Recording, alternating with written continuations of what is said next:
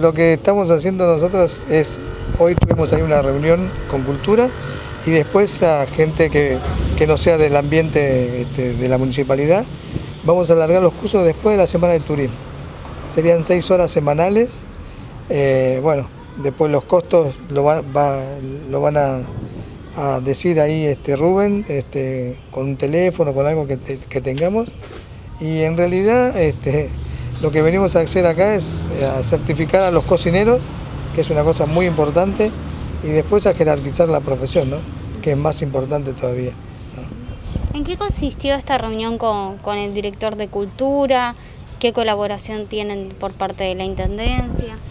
Bueno, la colaboración fue lo máximo porque fue muy linda reunión, la verdad que estamos, le presenté todos los proyectos yo, inclusive los manuales que tenemos que tener para la incorporación de los alumnos y este, bueno, quedaron muy conformes, yo también quedé muy conforme con, lo hablado, así que bueno, tenemos otra reunión más pendiente, pero es para hacer algunos este, arreglos nada más.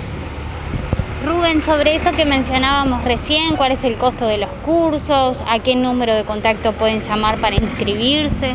Bueno, el número mío es 098-782-790. Este, que me llamen, yo les voy a pasar el, costo de los cursos y la duración y la carga horaria. No tenemos todavía lugar físico donde vamos a dar, pero ya lo vamos a tener en, poco para, para ya decirlo dónde va a ser los cursos. ¿Qué significa esta oportunidad, digamos, para quienes se quieren profesionalizar más en esta área aquí en el departamento?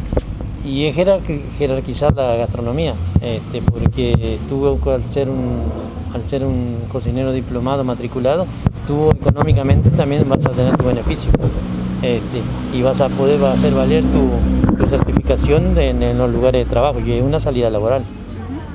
Sobre esto, eh, ¿cuáles son los módulos del curso? ¿Cómo está planteado académicamente para brindarlo?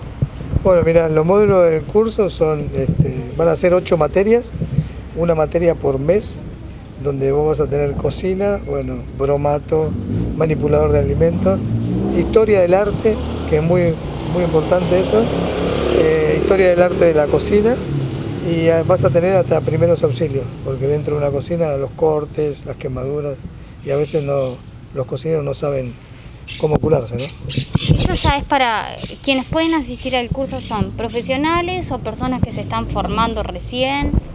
Sí, vamos a dividirlo, ¿no? Es, para profesionales eh, son una cosa y para que personas que quieran empezar ya es un poco más largo la, carga horaria. Pero eso después Rubén lo va a dar todo por, teléfono, así no, no, no ponemos tanto a la gente muy ansiosa.